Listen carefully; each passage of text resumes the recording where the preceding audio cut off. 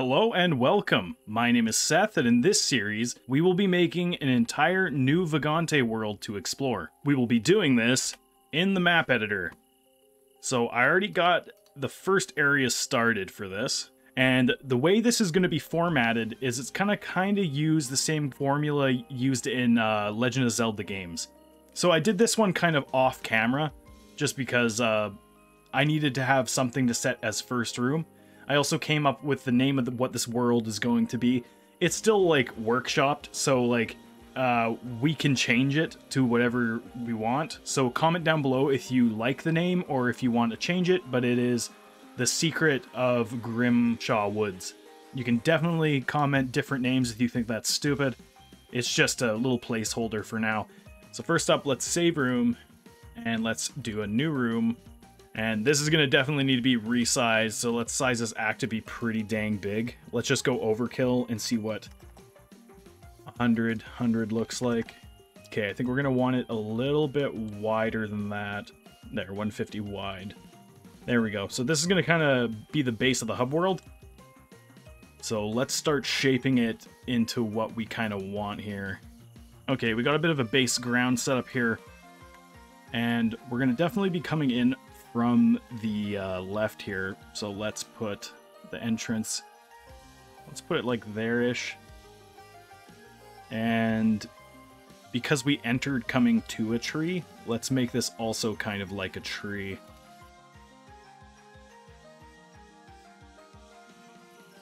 Then we got to make the, the canopy here. So this is a cool way I figured out how to layer the tree leaves. First uh, layer far ground, then go to close ground and continue going down into there and then go back to far ground. And there you go. There's your tree. You can have stuff hanging from it like roots and whatnot but I'll probably go through and do a little bit of uh, finishing touches on things. Now we just need to fill this up with kind of entries into areas so we're going to want this to look kind of like broken down uh, ruins. So we're going to use this one, which is like the mossy brick kind of style here. And we'll countersink it a little bit. And we'll turn it kind of into a, uh, like a ziggurat type deal here.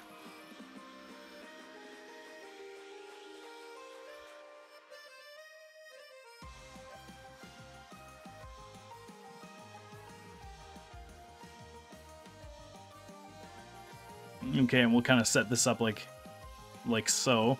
And we can put a door entrance in there. Now we just need kind of like some sort of support beam because we don't want that to look uh, weirdly unsupported. There we go. That kind of adds the uh, illusion that it's a solid structure. And we'll just slap a door right there. I know it's kind of weird. There's no actual way to uh, make it so you can just wander into this area. Like you can't cover up this door. You can cover up doors with the uh, close ground, but there's nothing that really works. Like you can do that, then it looks weird. So we're not, we're just gonna have to, it's just gonna have to look like that. Now, something I always loved in Legend of Zelda was when you're going through areas, seeing things that you can't get to quite yet, but you can eventually. So we could stick a little chest right there. And then um, later on when we get something like say double jump boots we can backtrack and get to this chest. And then it could have something interesting in it like a healing potion. Like a regen or something. So yeah this is one entrance kind of branching off in this hub world. And we're gonna have to make we're gonna have to make quite a bit of them. So we need to fill this hub world up with a ton of cool stuff here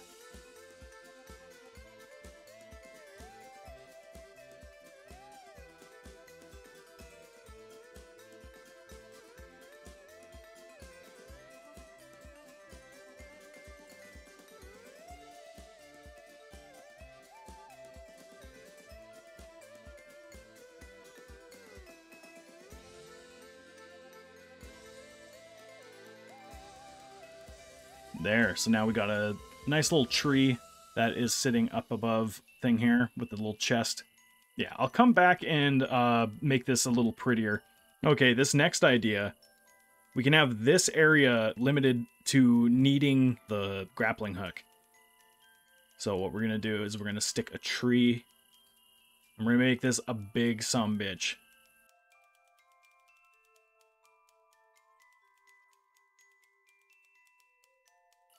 And this can be a puzzle in itself, like a uh, jumping type puzzle that you need the uh, grappling hook to complete.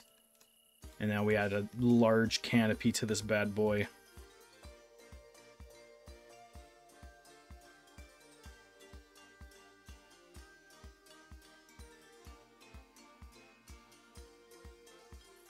Okay, that's now all textured. Might come through and finagle this to look a little nicer. But now let's make kind of a little tree fort type deal.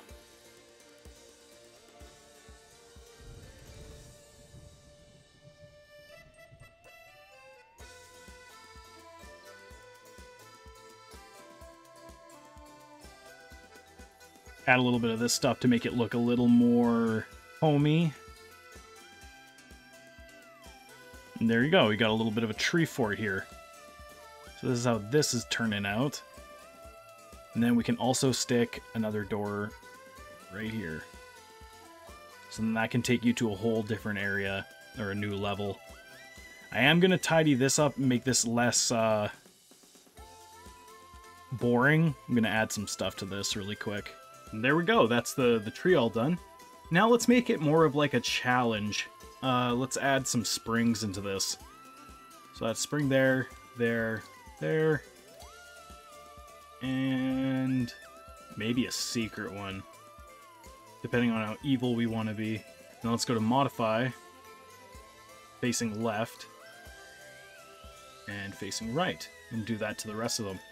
Okay, well we made it a little bit more interesting. Let's uh let's spawn an item here. Let's uh grappling hook. And let's see what this is like. Okay, see this is gonna be a problem. The tree's all dark. A few ways we can fix this. Let's just throw fireflies on the way up. Start them at the center of the tree. There we go, that's a little better. Okay, now let's see. I am not good with the grappling hook.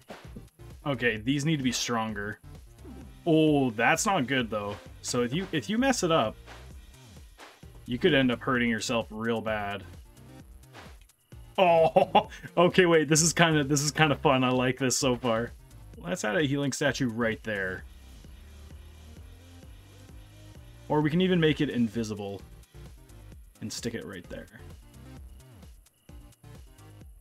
It might be semi-visible. Um, so yeah, you need the grappling hook to get to this, so this can only basically be used for this puzzle.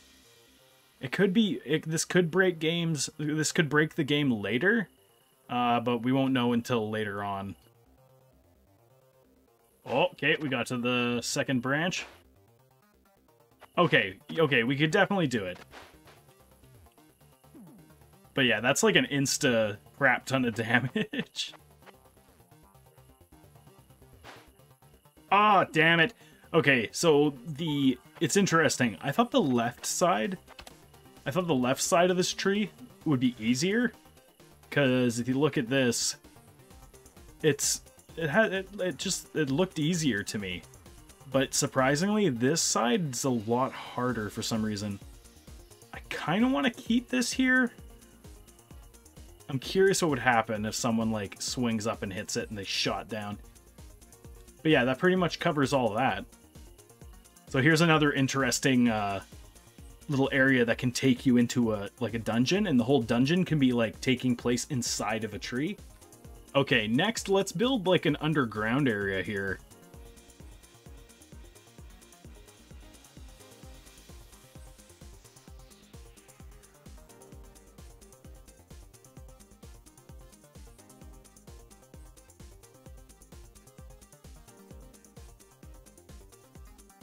Okay, maybe do something kind of like this. So you're coming along and there's a cave entrance. You can jump over it and continue this way. Or we could just have this flat, but I think I kind of like it more like an opened up cave. So, and then we're going to stick a new level there. Now, the difficulty of getting here, I was thinking it would be cool and interesting if this area is stopped by boulder traps. Now, this is an idea that uh, me and uh, Gox came up with. And one, two, three, two, three, one, two, three, and keep doing that. So now if we add, go to entities, let's add an item here and make it a, say, a studded helm. Or a great helm? Yeah, let's do studded helm. And now we're going to add an attribute of boulder protection on it. Okay, uh, I'm pretty sure it's this one, attrib attribute uh, 31, hardhead. Let's go add on to there.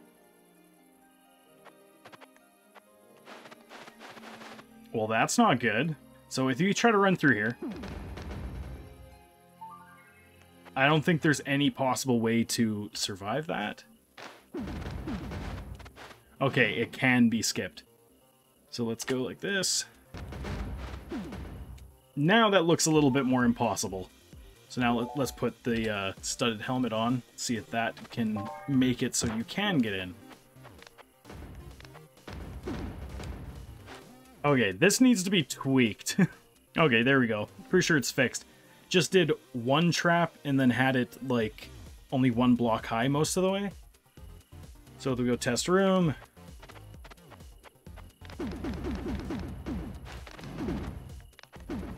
You can make it to it. Go test room. Take off the helmet. Yeah. Okay, that works. Uh, we will remove a few of these because they do still deal damage. So if you want to uh, get to the end here, you'd need boulder protection. So that's the the puzzle for getting to this area, which is its own little dungeon once you enter there. For this next one, let's do something that involves water. So let's make like a lake here. And then fill it up with these, which is the uh, water blocks. And then now let's make like an underwater type puzzle here.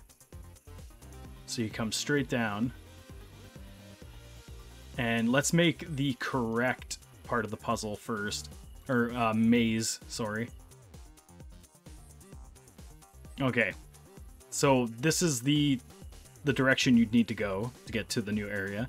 Now let's make it more of a maze by having other branching paths. There, I hope that looks evil enough. So this will be the entire swimming underwater maze, but we will we will make it uh, worth it. So at this end, we'll stick a chest right right there. So it's early on, so if someone does kind of encounter this chest, it might give them incentive to look through the entire maze. Um, so it's still kind of evil, but we'll give him the chest over there. And yeah, so basically what's going to limit this place is you will need to have underwater breathing because uh, you will not be able to even get close to here. Now I just got to fill up the water and I'm going to make it look a little pretty. So I ended up changing it quite a bit. Uh, I also went through over here and did some more changes and stuff. But now the maze, I think, is a little bit more complicated, but fun. And there is no way to do this without water breathing. Before, the way it was before, you could you could cheat it and still beat it with uh, damage boosting through everything. But uh, yeah, this is definitely way better. Let's take a quick look at what it's uh, gonna look like. So let's get, let's grab a ring. Let's make it a ring of Illyrian, and let's add the effects to it, the attributes. So we're gonna add breathing underwater to it, and we might as well also add uh, swim like a fish. So yeah, swim, and there we go. Now we got our water ring. So let's test this out. So you must have this ring equipped to be able to pull this off. So yeah, it gets... Even though I, I made it myself, I still get kind of lost testing this out. There we go. And then from here you enter the infamous water level. Okay, let's make this next area require double jump. So we're gonna kind of build a cliff here. And you can normally jump three blocks, so let's set it to, I think, that many is right. I have a pair of boots here that have double jump on them for testing, so we can just double check all this. Yeah, it looks like you can just make a five block jump. So that works out. I'm just going to take this up here, build this in. And we'll kind of turn this into like a cliffside jumping puzzle. So let's stick this one like right here. And see if that's a, a jump that can be made. Yeah, just barely. Like this shit without uh, double jump is not possible. And that's what we want. And we'll make the next jump something awkward. Gotta constantly test all this out to make sure it's all working out.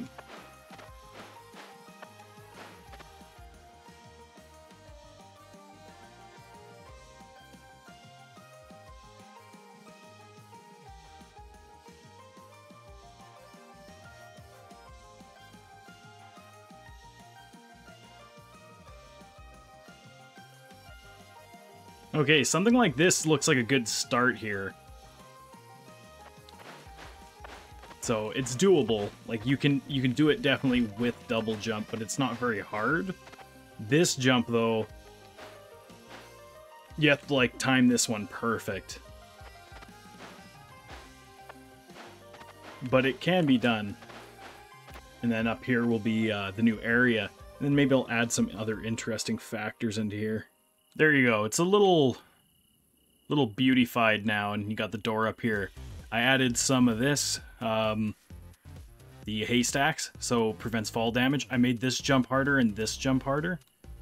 And I think what we're going to do here, I think it's a good idea, is let's extend this out. Let's extend it out to about here. So there's a chance to fall in the water, not kill yourself right away. There we go. And there's one last thing I really wanted to do. I'm curious if this works. I have to test it out. But what would happen if we did this and made this even freaking harder? Okay, yeah, it definitely makes it seem more difficult. Dang it. Yeah, this is still very good and hard.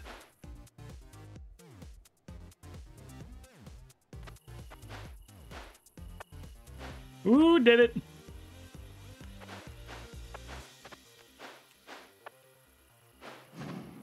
There we go. Okay, so it's definitely doable. I think this, though, should be moved maybe to, like, here. And then this one, it needs to be moved like, right here. That should be a decent little, like, challenge right there. I'm going to do some uh, final touches on it and do more testing, but that's basically the premise of this guy. So this is what we got so far. You come in from here, this is going to be like the first area. So area 1. Then down here will be area 2. And then down here is area 3. And then up here is area 4. This is area 5 on the top of the tree. And area 6 is the final boss. And we're going to make this a floating island up in here. So let's build ourselves a floating island There, something like kind of like this. We'll decorate it up and make it look pretty later. Let's just get the bases for it done. And then it's going to be final boss business. So we need like... We need to look like final boss business. What would this look like? You know, it's okay. Hmm. I don't know though. kind of want to make my own thing instead of just copy and pasting.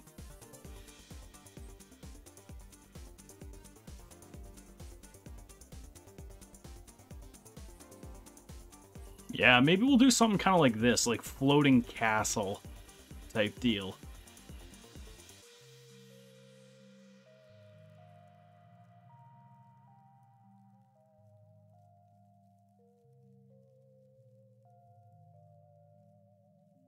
There we go. This looks pretty good. Uh, let me know in the comments if you want me to change this or what you think uh, would make this look better. Uh, to me, it looks pretty good for now. I might go over it and do some stuff off camera later. and fancify it a little bit. Make it look more extravagant for like the last area. I want it to kind of not fit in with everything else because everything else is like foresty and this is supposed to be like a foreign type deal. And that's kind of what I want this to look like. It definitely needs work. I need to make it pretty, but for now, let's just work on the mechanics of getting to this door. I was thinking of doing something on the lines of blade traps, and then make them all go horizontal. Alright, and here it is. This is pretty much all done. Uh, I made the castle a little bit more interesting looking. I changed it up a bit, added a little bit of holes and stuff, and then this is the puzzle. And then I added some of this background stuff from the final boss. So, you get these boots, which are the uh, Featherfall time jumping boots. And what you gotta do is you gotta time this business just right to make it up. It's not actually that hard. Coming down is really freaking hard. But yeah, it's pretty straightforward. You just make the right timing, and you can get up without getting hurt. It's not as hard as some of the other puzzles, but uh, I think it's pretty good for late game. Then over here, I added this, and had stream coming down out of it, which feeds into the lake. So in the next episode, all we got to do is make each area, but uh, every episode will be an area. So next episode, we're tackling this area right here. So feel free to leave comments on what you think it should be like, if I should add certain things. Off camera, I am going to go through and beautify things, make them look even nicer. But that should do for the end of the video, guys. Hope you enjoyed. Remember to like, comment, subscribe, lick that bell, check out our Discord. Link is in the description. And as always, I will see you in the next one.